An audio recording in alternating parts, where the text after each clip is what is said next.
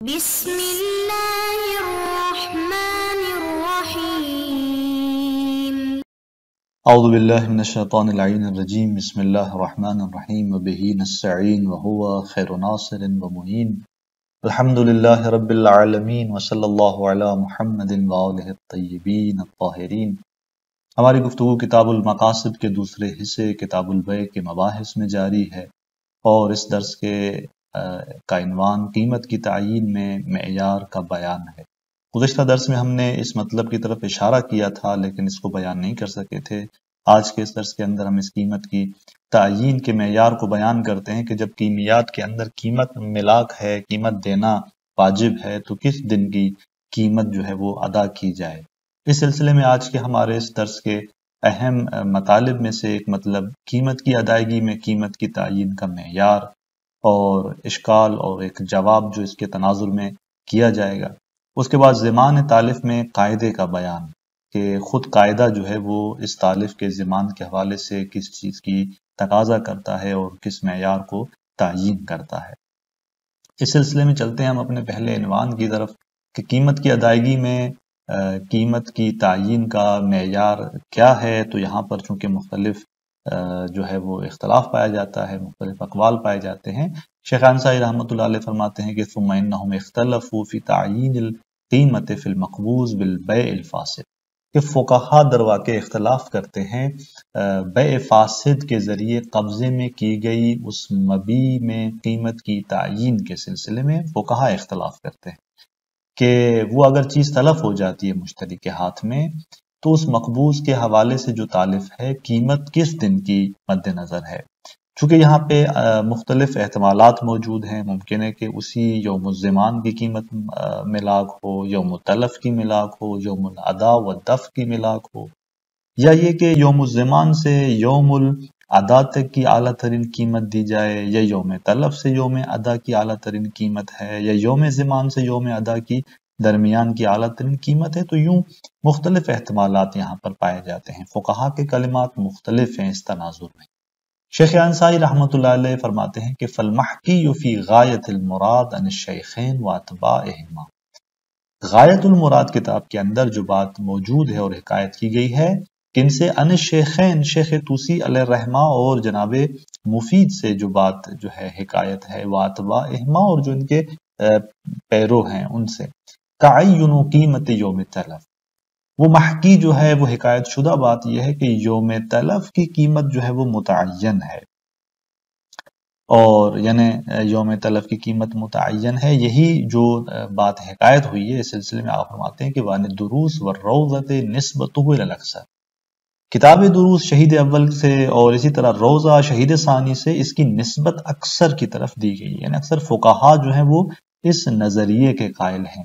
کہ یوم تلف کی جو قیمت ہے، وہ متعین ہے جب وہ قیمت ادا کرتا ہے اس چیز کی، تو اسی یوم تلف کے دن کی قیمت کو ملاک اور معیار قرار دے گا۔ اب اس سلسلے میں دلیل کیا ہے؟ فرماتے ہیں کہ والوجہ فی ہے، اس میں جو دلیل ہے، جو علت ہے، وہ یہ کہ علامہ نبہ علیہ جماعت اس بات کی بنیاد پر کہ ایک جماعت جو فوقہا کی ہے، جنہوں نے اس پر تنبیہ کی ہے منہم العلامہ فی تحریر کے ان میں سے علامہ بھی تحریر کے اندر ہیں۔ اس نقطۂ نگاہ کو دیکھیں، اس مطلب کو دیکھیں تو اس کی بنیاد پر جو علت ہے اس کی وہ یہ کہ ان الانتقال البدل انما ہوا یوم التلف۔ کہ یہ جو کیمی، اس کیمیات میں منتقل ہوتی ہے بدل کی طرف، یہ درواقع وہی یوم تلف ہے کہ یوم تلف جو ہے، یہ وہ دن ہے کہ جس دن یہاں انتقال صورت پا رہا ہے۔ قیمت جو ہے یعنی یہ چیز جو کیمیات میں سے وہ جو چیز تلف ہو رہی ہے، وہ منتقل ہوتی ہے اسی بدل کی طرف جو ہے، اسی یوم تلف کو۔ اذ الواجب قبلہ ہوا رد العین۔ فرماتے ہیں کہ کیونکہ اس سے پہلے جو چیز واجب ہے، وہ خود عین کا پلٹانا ہے۔ یعنی جب تک یہ منتقل نہیں ہوتی بدل کی طرف تو خود عین کو پلٹانا واجب تھا۔ اب جب عین ہی نہ رہی، عین تلف ہوئی، تو جس دن عین تلف ہوئی ہے وہی یوم یوم تلف جو ہے، اس کو منتقل کر دیتا ہے بدل کی طرف۔ کہ اب اس شخص کے ذمے پر عین کو پلٹانا نہیں، بلکہ اس کے بدل یعنی قیمت کو پلٹانا واجب ہو جاتا ہے۔ لیکن یہاں پر آپ فرماتے ہیں کہ ایک اشکال کیا گیا ہے، لیکن شیخ انصاری پھر اس اشکال کا جواب بھی دیتے ہیں۔ اشکال اس طرح سے وارد ہوا ہے کہ وہ ربما یور علیہ علیہ ہے کہ اس پر چبسا اشکال ایراد کیا جاتا ہے کہ ان یوم تلف یوم الانتقال قیمت فرماتے ہیں کہ یوم تلف تو یوم انتقال ہے قیمت کی طرف یعنی جس دن وہ عین تلف ہو رہی ہے، یہ دن کیسا دن ہے؟ انتقال کا دن ہے قیمت کی طرف۔ یعنی ہمارے پاس دو چیزیں ہیں، ایک انتقال ہے، ایک منتقل علیہ ہے۔ یہاں وہ یوم تلف، یوم انتقال ہے۔ لیکن قیمت کس دن کی؟ اس کو تو بیان نہیں کر رہا یعنی انتقال اس کس دن کی قیمت کی طرف یہ چیز واضح نہیں۔ فقط انتقال ہے۔ قیمت کی طرف کہ اب جب عین نہ رہی تو شخص قیمت ادا کرے گا۔ اما کون المنتقل علیہ قیمت قیمت یوم تلف لیکن یہ کہ مثلا وہ منتقل علیہ کہ جس کی طرف جو ہے یعنی جس قیمت کی طرف وہ انتقال پیدا کرتی ہے چیز، یہ منتقل علیہ کیا ہے؟ قیمت یوم تلف، کہ اسی ہی دن یعنی یوم تلف کی قیمت ہے فلا فرماتے ہیں کہ نہیں، یہ بات تو یہاں سے روشن نہیں ہو رہی، واضح نہیں ہو رہی۔ تو بس آگا فرماتے ہیں کہ یہ اشکال کیا جاتا ہے کہ یہ یوم تلف انتقال کا دن ضرور ہے، لیکن منتقل علیہ کی تعین یعنی وہ قیمت کس دن کی کیا اسی یوم تلف کی قیمت مراد ہے، معین ہے، اس بات کو واضح نہیں کر رہا ہوتا۔ پھر شیخ انصاری رحمت اللہ علیہ اسی اشکال کا جواب دیتے ہیں اور فرماتے ہیں کہ ید فاؤ یعنی یہ مطلب جو ہے، جو اراد کیا گیا ہے، اس کو دف کیا جاتا ہے، اس کا جواب دیا جاتا ہے، کس سے؟ بے ان معنی زمان العین عند قبضه کونه فی عہدته دیکھیں زمان عین کا معنی کیا ہے عند قبضه؟ کہ جب وہ شخص اس چیز کو قبض کرتا ہے، تو وہ ضامن بنتا ہے اس عین کی نسبت۔ تو اس زمان عین کا معنی کیا ہے؟ کونه فی عہدته کہ جب اس نے قبض کیا، تو وہ چیز اس کے ذمے پر آ گئی۔ اچھا ایک چیز کا اسے عہدے اور ذمے پر آنا، اس سے کیا مراد ہے؟ فرماتے ہیں کہ وہ معنی ذالکا اس کا معنی یہ ہے کہ وجوب و تدارو کے ہی بے بدلے کہ اب اس پر واجب ہے کہ اس کا تدارک کرے، اس کے بدل سے عند تلف۔ کہ اگر وہ چیز تلف ہو جاتی ہے، تو تلف کے وقت اس کے بدل سے اس کا تدارک کرے۔ یعنی عین کے تلف ہونے سے جو خلا ایجاد ہوا ہے، اس کو پر کرے کس چیز سے؟ اس کا تدارک کرے کس چیز سے؟ اس کے بدل سے۔ حتی یکون عند التلف کانہو لم ید کہ گویا یعنی یہاں تک کہ تلف کے وقت گویا وہ کیسے لگے کہ لم ید یعنی وہ تلف نہیں ہوئی، وہ چیز اصلا خالی نہیں ہوئی، وہ جگہ خالی نہیں ہوئی، وہ ایسا نہیں ہوا کہ خلا ایجاد ہوا ہے۔ گویا کہ وہ تلف ہی نہیں ہوئی۔ اس طرح اس کا تدارک جو ہے وہ تلف کے وقت ضروری ہے۔ اب تدارک اند تلف کیسے ہے؟ فرماتے ہیں کہ وہ تدارک ہو الحاظ النحو بے مال معادل له، قائم مقام اور اس کا تدارک اس طریقے پر کہ مثلا وہ اس طرح سے تدارک ہو کہ کانہ لم یتلف ہو، اس طرح اس کا تدارک بے التظام مال، ایک مال کے التزام سے ہے کہ وہ شخص ملتظم ہو جائے، ایک قیمت کا، ایک ایسی چیز کا، کہ معادل له، قائم مقام ہو کہ جو اس کے معادل ہو اور اس کے قائم مقام ہو۔ اور یہ وہی قیمت ہے کہ جو تلف کے دن کی قیمت ہے۔ یعنی اسی ہی دن کی جو قیمت ہے، وہی دروا کے اس کے ذمے پر آئے گی اور وہ ملتظم ہوگا۔ اسی قیمت کا اور یہی وہ قیمت ہے جو دروا کے تدارک کر رہی ہے۔ اسی تلف ہونے والی چیز کا۔ کہ اگر یوم تلف وہ چیز تلف ہوتی ہے اور انسان اسی دن کی اس قیمت کو کے ذریعے جو ہے وہ اس کا تدارک کرتا ہے، تو گویا کا نہ یا تلف وہ تلف نہ ہوئی۔ تو بس یہاں پر آگا فرماتے ہیں کہ انتقال نہیں ہے فقط، بلکہ وہ منتقل علیہ جو ہے وہ بھی واضح ہے یہاں پر کہ جس طرح یہ قیمی منتقل ہوتی ہے قیمت کی طرف، تو وہاں پر قیمت بھی اسی دن یعنی یوم تلف کی مد نظر ہوتی ہے۔ اب اس کے بعد شیخ انصاری قاعدے کی طرف بڑھتے ہیں کہ ہم یہاں پر فرماتے ہیں کہ قاعدے کو دیکھیں گے کہ زمان طالف میں قاعدے کا بیان کیا ہے۔ وہ کرنا وہ وہ مطالب جو ہم نے پیچھے بیان کیے، ان سے ایک بات روشن ہو جاتی ہے کہ قاعدہ یہاں پر کیا ہے۔ ان الاصل فی زمان طالف فرماتے ہیں کہ طالف کے زمان میں جو چیز طلف ہو رہی ہے، قاعدہ اور اصل اگر دیکھا جائے تو زمان بے قیمت ہی یومت اسی کا زمان ہے اس کی قیمت سے یوم تلف۔ یعنی اس تلف کے دن جو اس کی قیمت ہے، اسی قیمت سے اس کا زمان ہے۔ یہ قاعدہ اولی ہے، پہلا قاعدہ۔ فَإِنْ خَرَجَ الْمَغْصُوبُ مِنْ ذَلِكَ مَثَلًا فَبِدَلِيلٍ مِنْ خَارِج۔ ہاں اگر ایک چیز جو کہ مغصوب ہے، جس کو غصب کیا گیا ہے، وہ اسی قاعدے سے خارج اگر ہے، مثلا مثال کے طور پر، تو فَبِدَلِيلٍ مِنْ خَارِج۔ یہ خارج سے ایک دلیل کی بنیاد پر ہے۔ مثلا خارج میں وہ صحیح ابی بلاد کی جو روایت موجود ہے، وہ دلیل دلیل خاص ہے اور اس دلیل سے مثلا مغصوب خارج ہو رہی ہے کہ جس میں اس غصب میں جو زمان ہے، وہ یوم الغصب کے، کا زمان مد نظر ہے۔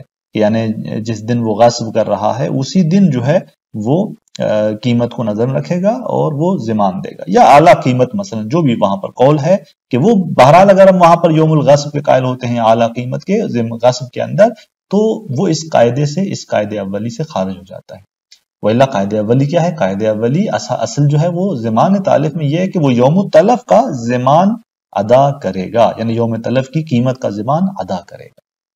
لیکن یہاں پر شیخ انصاری استدراک کرتے ہیں کہ ہم یہ جو ہم نے غصب میں دیکھا کہ یہ غصب جو ہے، وہ ایک دلیل سے خارج ہے اس قاعدے سے اور وہاں پر ملاپ اور معیار یوم الغصب ہے۔ لیکن ہمارے اس مطلب کے اندر، معنی نفی کے اندر ہم جو بحث کر رہے ہیں عقد فاسد میں، یہاں پر آیا وہی اصل جاری ہوگی کہ زمان اسی یوم تلف کی قیمت کا زمان ہوگا۔ نہیں، یا نہیں، یہاں پر قاعدہ اور اصل جو ہے وہ یہ مانحنفی میں ہمارے اس مورد بحث مسئلے میں جاری نہیں ہوگا۔ فرماتے ہیں کہ باب غصب سے جو یعنی مورد بحث اس مسئلے سے الحاق جو ہے، وہ ایک راہ سے روشن ہوتا ہے۔ یعنی ہم یعنی ایک راہ کے ذریعے باب غصب سے مورد بحث مسئلے کو ملحق کر سکتے ہیں۔ وہ پہلی راہ کہ جس سے ہم باب غصب سے اس مانحنفی کو ملحق کر کے ہم یہ کہہ سکتے ہیں کہ اصل ہمارے اس مورد بحث مسئلے میں جاری نہیں ہے۔ نام فرماتے ہیں کہ ہاں کہ لو تم ما تقدم عن الحلی فی هذا المقام۔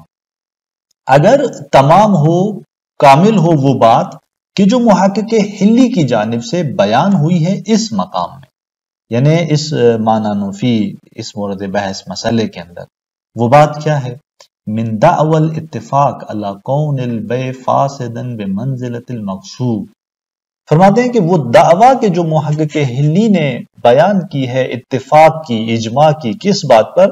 کہ بے جو ہے فاسد ہے یعنی بے کا فاسد ہونا، یہ جو ہے بے منزلت المغصوب اللہ قون البے فاسدن یعنی بے کا فاسد ہونا، کہ جب جب معاملہ فاسد ہو جائے، تو یہ کس کی جگہ پر ہے، کس مانند ہے؟ بے منزلت المغصوب یہ اس مغصوب کی مانند ہے۔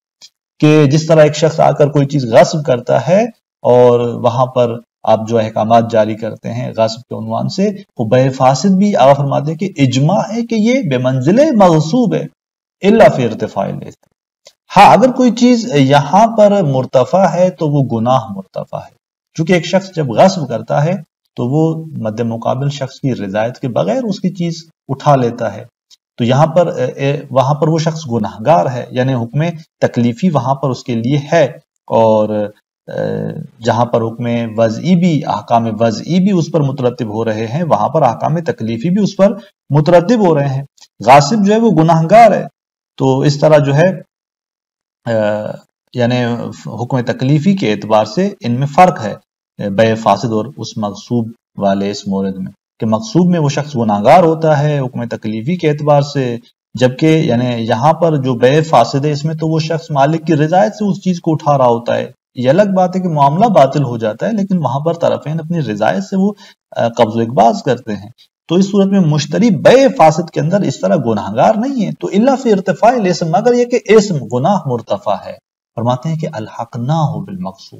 یعنی لو تم، اگر یہ بات تمام ہوتی ہے یعنی یہ بات درست ثابت ہوتی ہے جو موقع کے ہلی نے دعویٰ کیا ہے کہ بے جو کہ فاسد ہے وہ مغصوب کی منزلت پر ہے تو الحق نہ ہو۔ تو ہم اسے ملحق جانیں گے کس سے مغصوب سے۔ یعنی پھر ہم اس بے فاسد کو ملحق کریں گے اور اس کو مانحنفی اور مورد بحث مسئلے میں ہم جو ہے وہی مغصوب کے احکامات کی طرح عمل کریں گے۔ ان سب تفیع حکم مخالف لحاظ اللہ اگر غصب میں ثابت ہوتا ہے، حکم کہ جو اس قائد اولی اصل کے مخالف ہے۔ اگر غصب کے اندر یہ حکم ثابت ہوتا ہے، تو الحق نہ ہو بالمقصوب ہم اس بے فاسد کو ملحق کریں گے مقصوب سے۔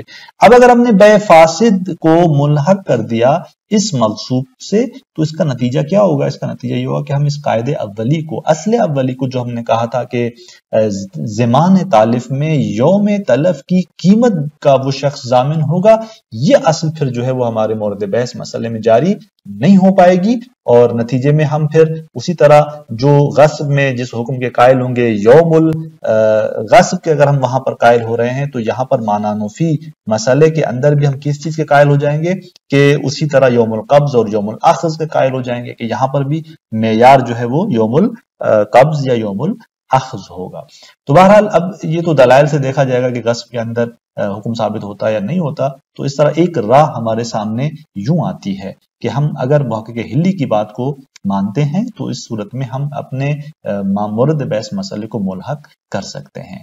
مزید اس کے علاوہ آیا کوئی اور راہ بھی ہے؟ جی بالکل، شیخ یعنی انصائی رحمۃ اللہ علیہ اس سے ہٹ کر ایک اور راہ سے بھی اس معنی کو ملحق کر رہے ہیں غصب کے ساتھ کہ انشاءاللہ اگلے درس کے اندر ہم اس کو بیان کرتے ہیں۔ والسلام علیکم ورحمۃ اللہ وبرکاتہ۔